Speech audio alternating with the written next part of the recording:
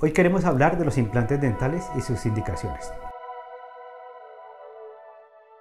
Para entender un poco el concepto y las indicaciones y si soy apto o no apto para un implante dental, tenemos que definir primero qué es un implante dental. Este es un macromodelo de un implante dental.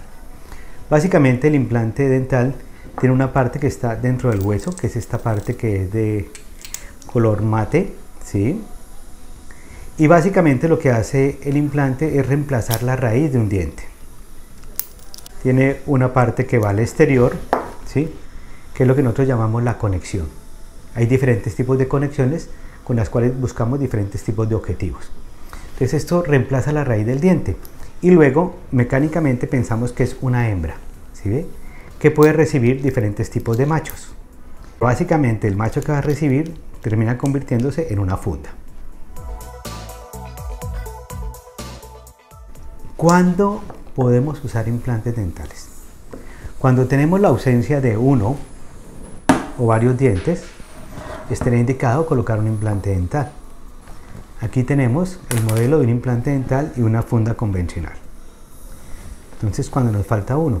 Pero también el paciente puede ser edéntulo de una forma parcial. ¿sí? Y entonces podemos colocar dos implantes y hacer tres fundas. Pero aún más, podríamos ir un poco más lejos. Por ejemplo, tenemos un paciente que es desdentado. ¿sí? Este paciente desdentado podemos colocar cuatro implantes y hacer una prótesis de clic. Es el macho que hemos decidido colocar a esta hembra. Y entonces la prótesis hace clic. ¿sí? Esto se llama locator. Es una prótesis semifija. Y en esta familia están todo lo que llamamos sobredentaduras.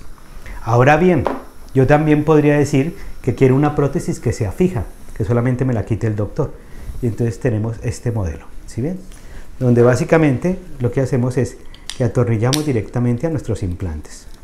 ¿sí? Este tipo de prótesis solamente la puede quitar el profesional para limpiarla. Pero el paciente no va a notar nada distinto. Como ustedes ven, los implantes dentales están indicados siempre que nos haga falta dientes. Este es un paciente que es edéntulo. En contraposición, ¿qué otras soluciones tendríamos para un paciente que pierde dientes? La otra solución sería pensar en hacer un puente fijo, ¿vale? El puente fijo básicamente lo que hace es adelgazar las dos estructuras vecinas y como su nombre lo dice, hace un puente.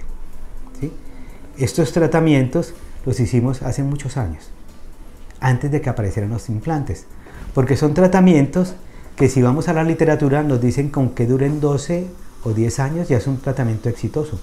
Pero si tenemos un paciente de 40 años que hacemos un tratamiento de estos, a los 50 este paciente está en un apuro. Cada vez hacemos menos este tipo de tratamientos, a menos que el paciente lo solicite. La primera opción siempre serán los implantes dentales, porque si ustedes ven es un tratamiento absolutamente conservador. Es absolutamente conservador porque yo no tengo que tocar ninguno de los dientes del paciente. Si ven este caso, miren qué caso más bonito. Yo conecto esto y de esta manera recupero la función del paciente. ¿Qué otra posibilidad tendría? Un aparato de quitar y poner. Pero imagínense este paciente con un aparato con ganchos o con paladar. Luego para nosotros, la profesión, el implante dental se ha vuelto una solución magnífica que suple muchas de nuestras necesidades. También son absolutamente predecibles, son cirugías que son predecibles.